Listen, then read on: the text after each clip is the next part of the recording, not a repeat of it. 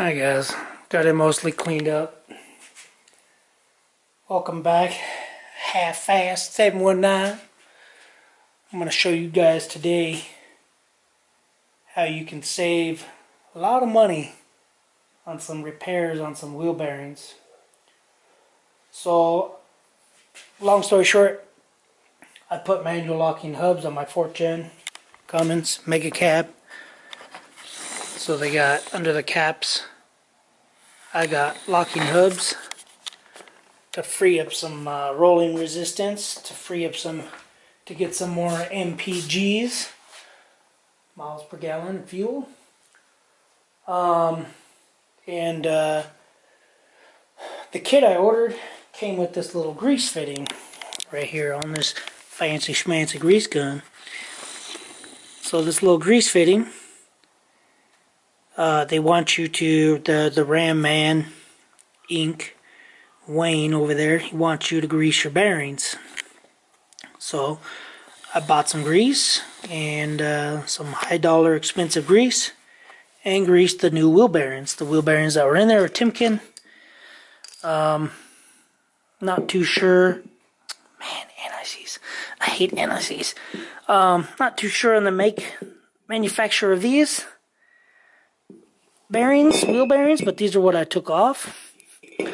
Um, they're pretty pretty loose. I did a rolling resistance on them, and uh, compared to brand new, they were about 20 inch pounds harder to rotate. So this one seems kind of dryish. I don't really know. I don't really think it's really that dry. So, um, what I decided to do, since these weren't actually bad at all, is, and I'm going to go ahead and store these, uh, I'm going to go ahead and grease them. So, not too sure if you can see in there, but where is it? Inside there, it uh, looks pretty pretty dry. So it was only a matter of time before these went bad. Um, so basically, you have this little fitting that the Ram Man makes. Um, it's got a little O-ring on it. It's a little O-ring, and uh, it's just a grease fitting. So decided to show you guys how you can make your own. So got here, got this uh, green O-ring set, and uh, I believe the O-ring is this O-ring right here, which is a 5 16ths, 5 16ths by 7 16ths uh, by 1 16th. So you take an O-ring and you take one of these Zerk fittings, so it's an eighth inch, eighth inch NPT. This is a 45, this is a 90, and this is straight. So you can pick your poison, whichever one you want. Auto Parts Store carry these. This kit I got from Harbor Freight a while ago.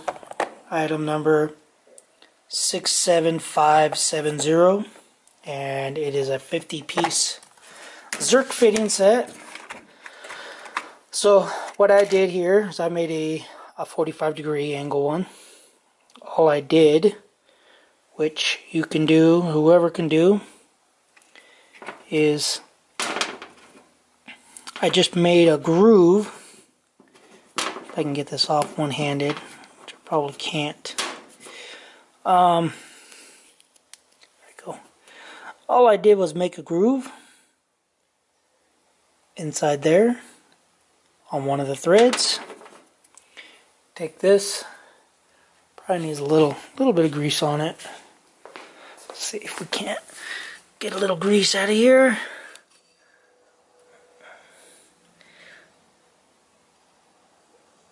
Come on. Okay. Stick a little grease on there. Now I'm not trying to say do this and he does sell these on his website. He sells something, I don't know. But the one I got is what the what the kit came with. And I thought, well, if you didn't want manual locking hubs, you can go on his website. You can buy one, or you can just make your own. So, um, rag. So basically, I'm gonna go ahead and grease this. So this is just gonna fit in there, and uh, you just want it to fit nice and snug. So this is for Ford, Chevy, Dodge. This is for uh, anybody up there with uh, a slot like this. So with an ABS, that's where your ABS sensor goes in. Your ABS sensor goes in here with a little 5 millimeter Allen, or yours might be different. And uh, if you can, they actually recommend greasing these. He does, uh, Wayne over at the Ram Man recommends greasing these every 15 to 20,000 miles. And it's pretty easy. I'm just going to stick this one in there.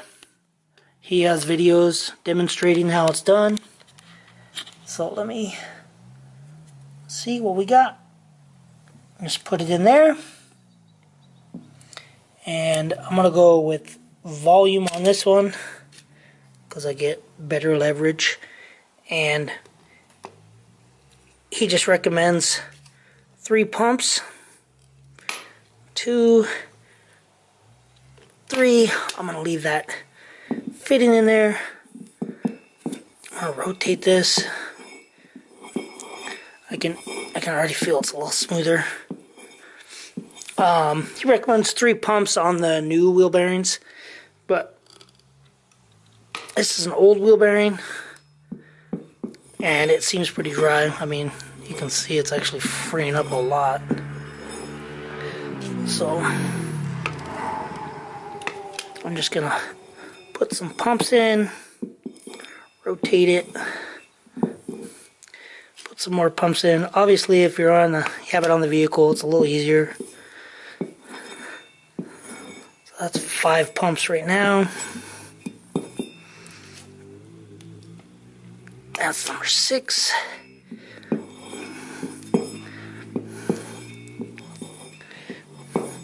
Said a dry bearing can take up to take up three three ounces, which is uh, one of those little small tubes of grease.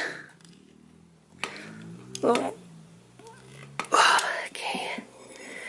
I can feel it getting getting a little smoother and tougher. Like the grease is getting into the actual bearings. Oh yeah, that feels it's feeling good right there. So any of you guys out there with your Dodges, Fords, highly recommend if you're gonna do brakes, make one of these little adapters Oh, jeez.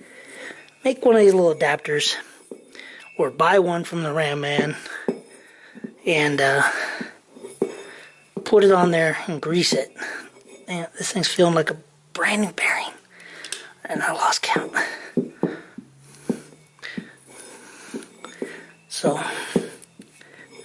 probably do one more pump, and uh, then I'll go show you guys how to make one. But that's feeling a lot stiffer I think if this bearing was still on the truck, it would last a lot longer.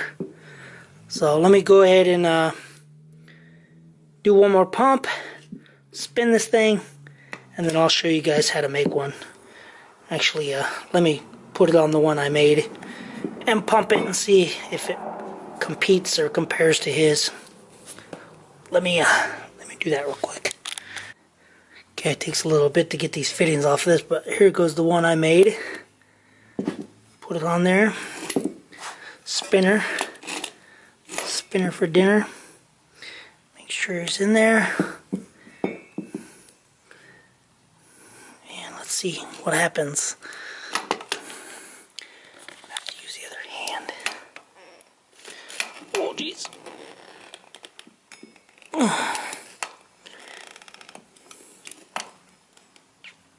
That's three bumps.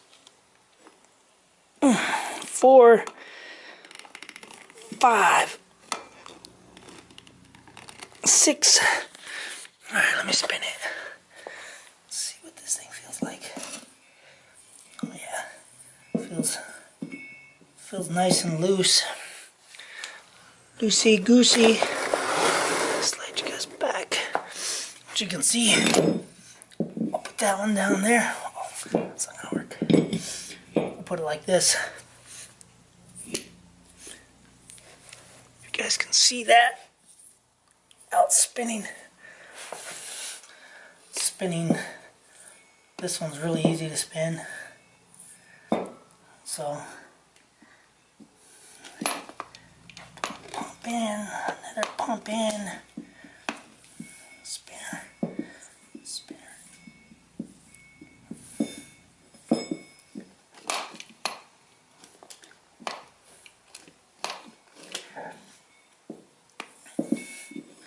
Yeah, it's getting a little bit, a little bit stiff.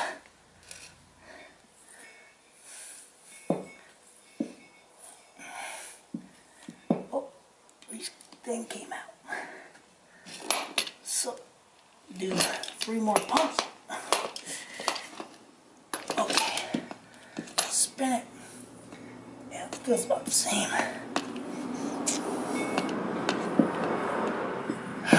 Okay, take my little tool out, wipe the grease, stick her down. Oh yeah, nice and stiff. Yep, nice and stiff.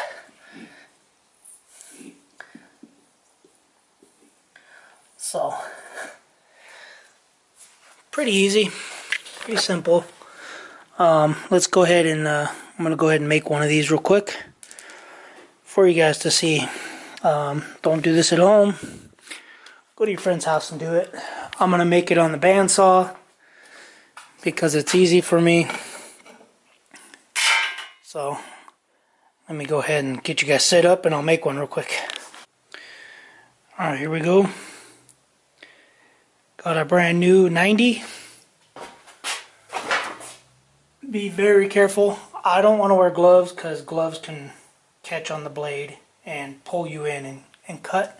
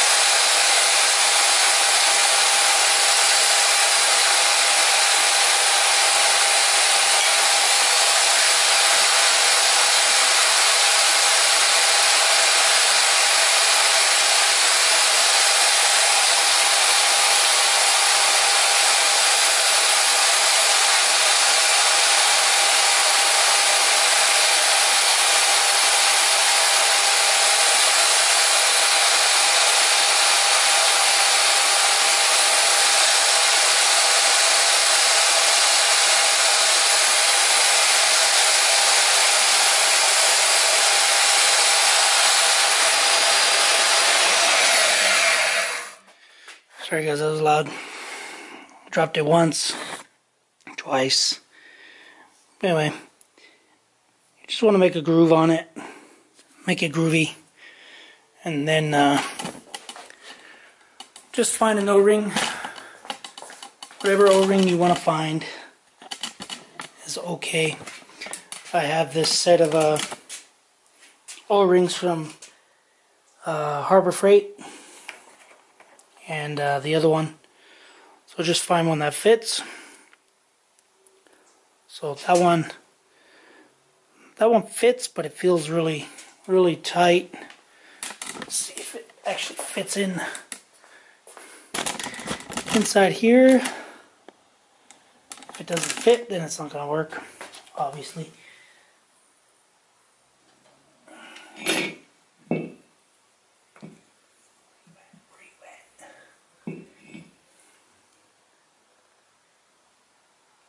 So that O-ring is just a little bit too big. So just go to the next size smaller of O-ring and it'll just be trial and error. So that seems like O-ring is just too thick. So that one's not to fit.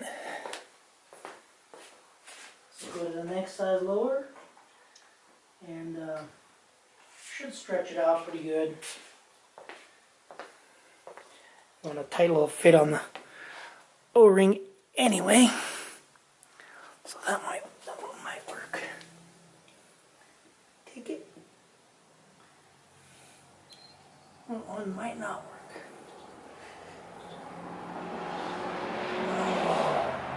That is too too tight. Hmm. Seems like it'll work. Yeah, O-ring's not O-ring's not messed up or anything, so it works. It's just a really tight fit, which is actually a lot better. So, anyway, so now I got three of them. Can give one to the guy who bought my 2012 so that he takes care of the truck.